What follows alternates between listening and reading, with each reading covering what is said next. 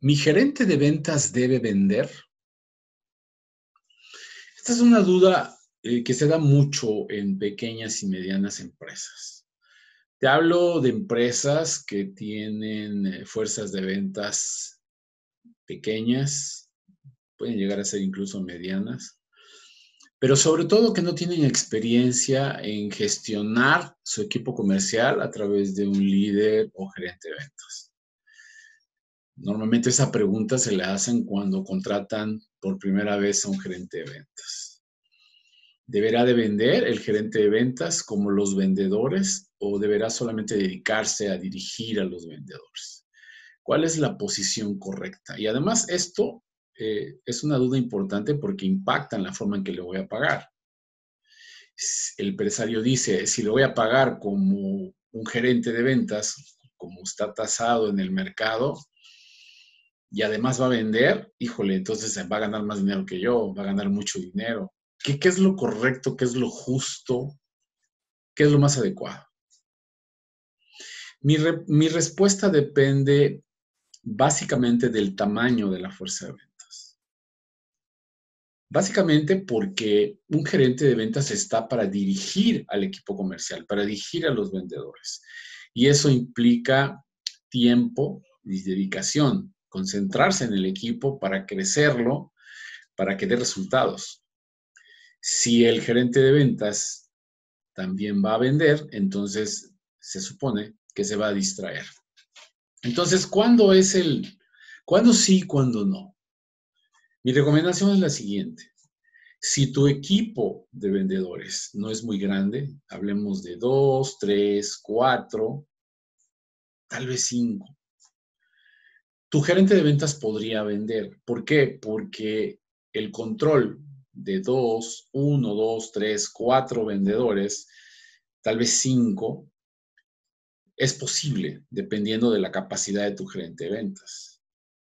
Si tu gerente de ventas tiene esa capacidad, esa competencia de poder dirigir a tus vendedores y además para poder vender él, adelante, eso no es problema. Obviamente la parte del salario tiene que modificarse. Si él vende, pues seguramente el salario deberá ser un poco menor como gerente de ventas, porque va a tener ingresos como vendedor. Pero si en lugar de ese equipo tienes un equipo mayor, un equipo más grande, con más vendedores, en donde forzosamente el gerente de ventas tiene que concentrarse en la dirección de ellos, entonces el darle la facilidad o la oportunidad de vender no siempre es tan conveniente. Lo que hacen algunas empresas es darle uno o dos o tres clientes importantes para que él los atienda, cosa que tampoco estoy del todo de acuerdo, porque pues para eso están los vendedores. Si tú le vas a pagar bien a tu gerente en su salario y en las comisiones que se va a ganar por lo que vende el equipo, pues entonces que se dedique a dirigir vendedores. Pero insisto, dependerá de la capacidad que tenga este gerente y del tamaño de tu fuerza de ventas. Conozco empresas pequeñas con cuatro vendedores y un gerente de ventas que vende, además de dirigir, como también conozco empresas que también tienen éxito en donde son cinco vendedores, y hay un gerente de ventas que solo se dedica a dirigirlos. A veces también hay diferencias en la complejidad de lo que se vende, en el número de clientes, en el número de cotizaciones. Hay, hay ciertos factores que también nos pueden hacer pensar que es mejor que el gerente de ventas se dedique a dirigir a los vendedores en lugar de que se ponga a vender. Así que no existe una respuesta universal, pero sí la recomendación de valora la cantidad de esfuerzo eh, de lo que tiene que hacer tu gerente de ventas para ver si le das la oportunidad de vender o no. Incluso hay gerentes de ventas que no les gusta vender, que ellos solamente les gusta dirigir. Hay otros gerentes de ventas que sí les gusta vender.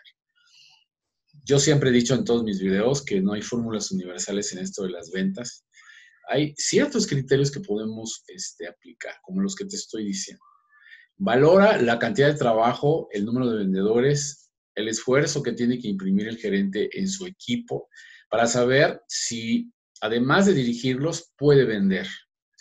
El que venda o no, sí, le va a dar un ingreso y ahí tú tienes que equilibrar precisamente el, el modelo que le estás ofreciendo.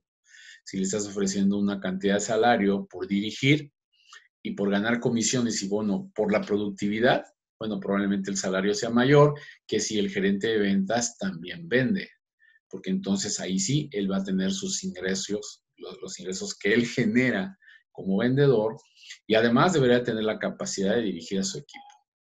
Analiza esto en tu equipo de trabajo, en tu fuerza de ventas y decide si le debes permitir a tu gerente que, que, venda o que solo dirija. De hecho, incluso existe esto también como un modelo de transición. Si tú estás empezando una fuerza de ventas con dos o tres vendedores, le puedes dar la oportunidad a tu gerente de que venda y decirle de, desde inicio, desde que lo contratas, que cuando crezca la fuerza de ventas a un determinado número de vendedores, puedes hacer un cambio en su modelo de compensación, de retribución en general, para que él esté consciente y de acuerdo. El error muchas veces es no avisar. Sin agua va a decirle, ¿sabes qué? Ahora te voy a bajar el salario, te lo voy a subir, te lo voy a modificar, las, comisiones y todo. Yo, yo siempre he dicho que los planes de retribución, toda clase de plan de compensación con vendedores se puede negociar, se puede platicar. El, el, el error es, es cambiarlo sin previo aviso. Y en esto de las gerencias, pues tú le puedes decir a tu gerente de ventas, de inicio, en la primera etapa, hasta un número determinado de vendedores, tú puedes vender y vas a hacer. Una vez que el, equipo crezca, entonces te modifico tu plan, te doy, te incremento el salario para que te dediques a, a dirigir a tus vendedores y vas a ganar eh, comisiones por la productividad de ellos, incluso bonos, y ya sabemos que los bonos pueden ser este, por cantidades de dinero, en especie o de diferentes formas. Hay muchas formas de compensar los esfuerzos. Aquí lo importante es que estés tú, antes que nada, claro en lo que va a ser tu gerente de ventas para saber si además de dirigir a tu equipo, también va a vender.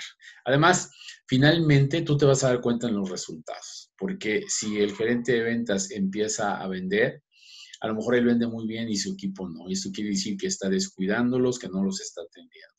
Si tu gerente de ventas tiene la capacidad de vender y hacer que tus vendedores sean productivos, pues de hecho tienes un buen gerente de ventas. Pero pues es imposible que pudiera tener a muchos vendedores y que además él, venda.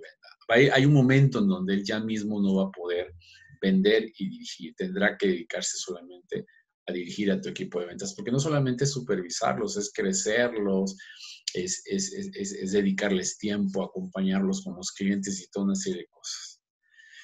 Analiza bien la actividad que vaya a tener tu gerente para que puedas determinar un modelo u otro.